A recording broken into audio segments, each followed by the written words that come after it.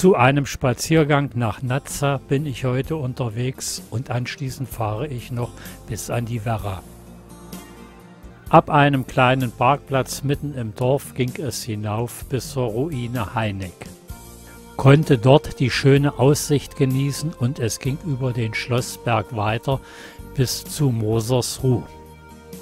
Ab dem kleinen Wanderrastplatz ging es zum Barbara Hagerstein und dann wieder hinunter in den Ort Natze. An der Christuskirche vorbei ging es dann wieder zurück zum Parkplatz die Burgstraße hinauf und dann ein kleines Stück den Buchholzweg entlang ging es dann in Richtung Burg Heineck.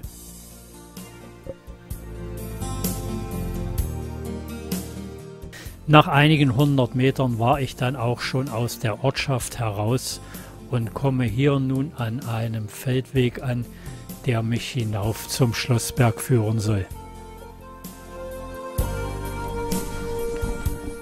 Immer mal wieder den Blick auf die Ortschaft Nazza gerichtet, geht es nun hier an Wiesen und landwirtschaftlichen Flächen vorbei, weiter hinauf in Richtung der Burgruine Heineck.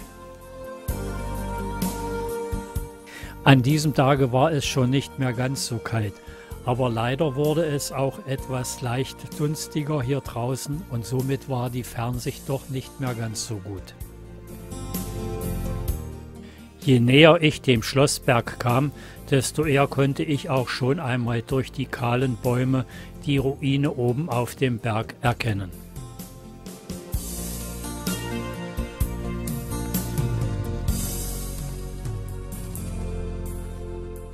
Die letzten 200 Meter ging es hier auf einem schmalen Pfad noch einmal etwas steiler bergauf.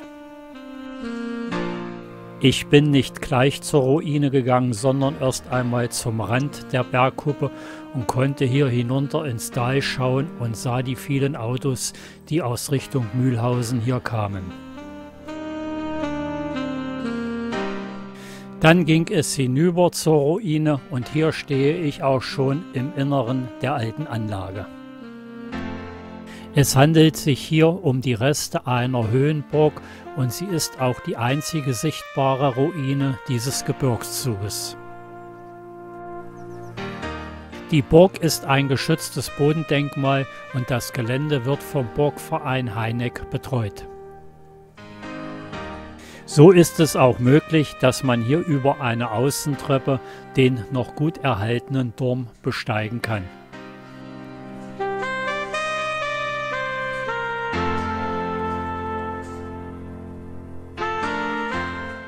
Nachdem ich hier an der Außentreppe den ersten Teil erklommen hatte, konnte ich noch einmal in das Innere der gesamten Burganlage schauen.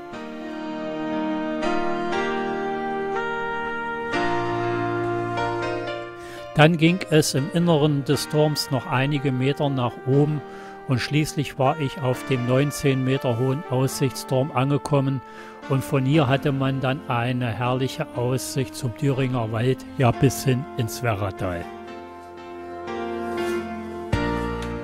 Hier schaute ich durch eine Fensternische in Richtung Wartburg und Thüringer Wald und in der nächsten konnte ich wieder in das Innere der Burganlage schauen.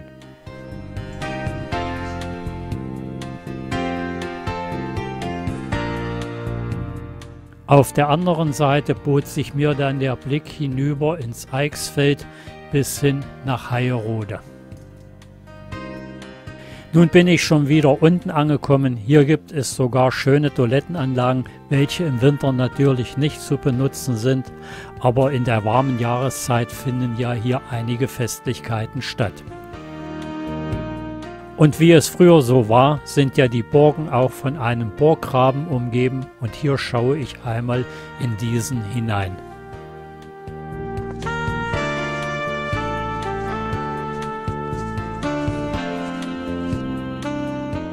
Auf dem Schlossberg und Heiniclandweg setze ich nun meinen Spaziergang fort und ab und zu kann ich immer noch mal hinter mir die Burgruine sehen.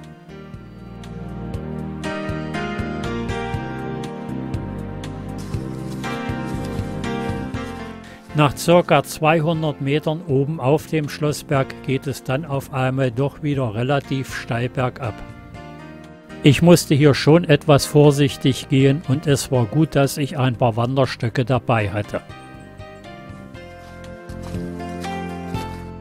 In Richtung Mila setzte ich nun meinen Spaziergang fort. Meine Wanderstöcke hatte ich wieder zusammenklappen können, denn hier war das Gelände wieder leichter zu begehen.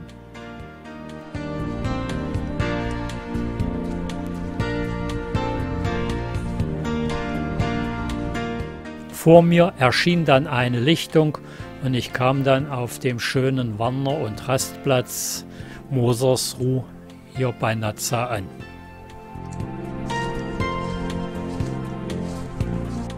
Hier bei Mosersruh laufen einige Wanderwege entlang, auch der Fernwanderweg Werningerode-Eisenach.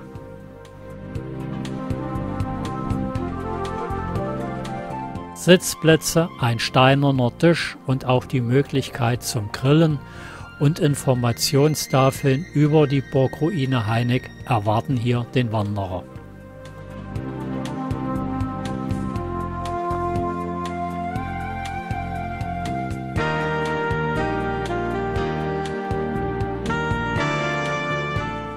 Von diesem schönen Rastplatz hier bin ich dann noch ca. 500 bis 600 Meter hinunter ins Tal gegangen in den Lotzengrund.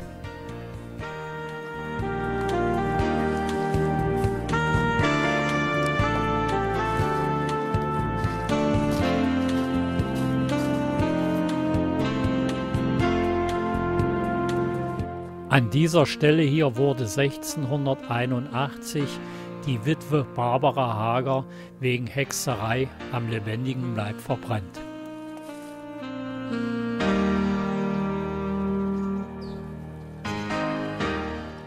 Weitere Wanderwege bogen hier an dieser Stelle noch ab. Ich bin dann aber an diesem Nachmittag vorbei an Mosersruh wieder zurück in Richtung Nazza gegangen.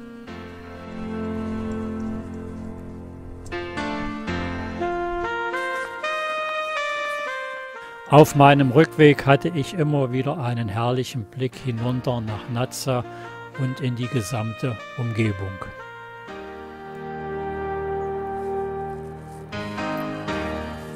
Die kleine Ortschaft Nazza liegt ja wunderschön im Tal des Lempertsbaches und befindet sich am Westrand des Hainichs. Hinunter in den Ort geht es vorbei an landwirtschaftlichen Nutzflächen und zwei Schafe schauen mir beim Spazierengehen auch neugierig zu.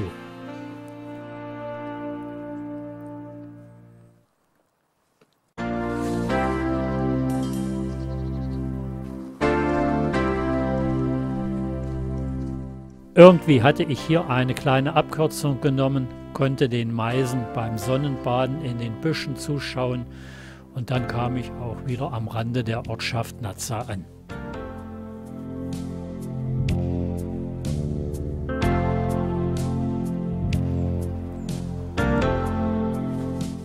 Auf die Burgruine Heineck wird ja hier an allen Stellen in Nazza hingewiesen.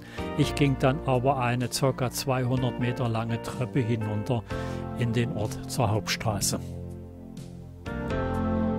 Hier unten wird dann auf die Kleinsiedlung Wernshausen hingewiesen. Sie besteht wohl aus zwei historischen Gehöften. Auf der Dorfstraße, welches auch die Verbindungsstraße zwischen Mühlhausen und Eisenach ist, gehe ich nun langsam wieder zurück zu meinem Parkplatz. Hier im Ort gibt es wohl nicht nur Sehenswürdigkeiten, sondern auch Ferienwohnungen, so dass man immer einmal einen Kurzurlaub oder Kurztrip hier machen kann.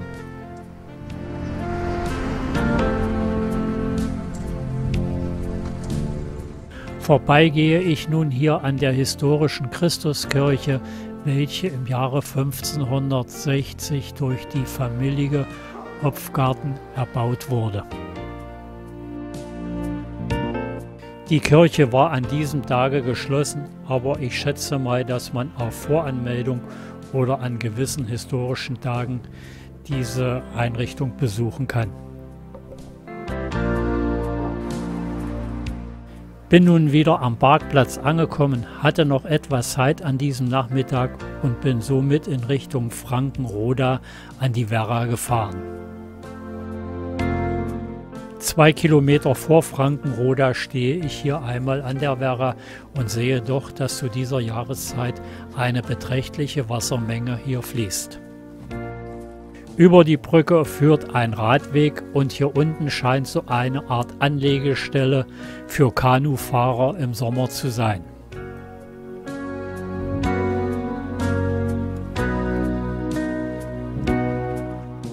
Am späten Nachmittag bin ich nun hier in Frankenroda angekommen und auf einigen Hinweistafeln am Anfang des Ortes erkundige ich mich einmal, was es hier so im und um den Ort herum zu sehen gibt.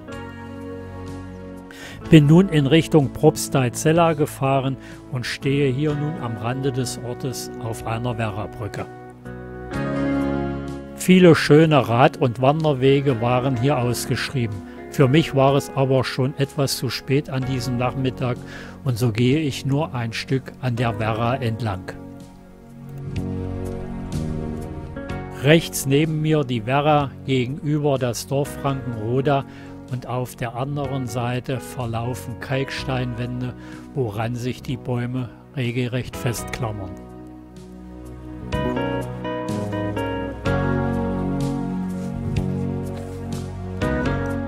Hier verläuft nun der Naturparkweg Kleine Werra und ich bin jetzt wieder zurück an der Werra-Brücke angelangt. Eine kleine Parkanlage mit Blick hinauf zum Dürmchen und viele Sitzplatzmöglichkeiten und Rastmöglichkeiten gibt es hier.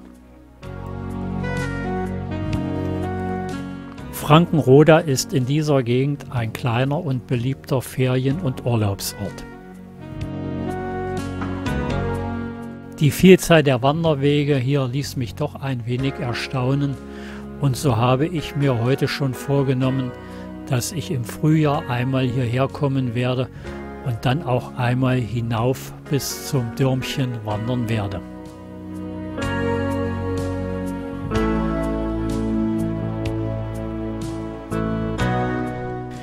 Hier Mitte Januar ging nun auch langsam um diese Zeit die Sonne unter und ich ging wieder zurück zum Parkplatz an der Werra-Brücke, wo ich mein Auto hatte stehen lassen. Durch Frankenroda hindurch befinde ich mich nun wieder auf der Heimfahrt und beende somit einen schönen kleinen Wandertag.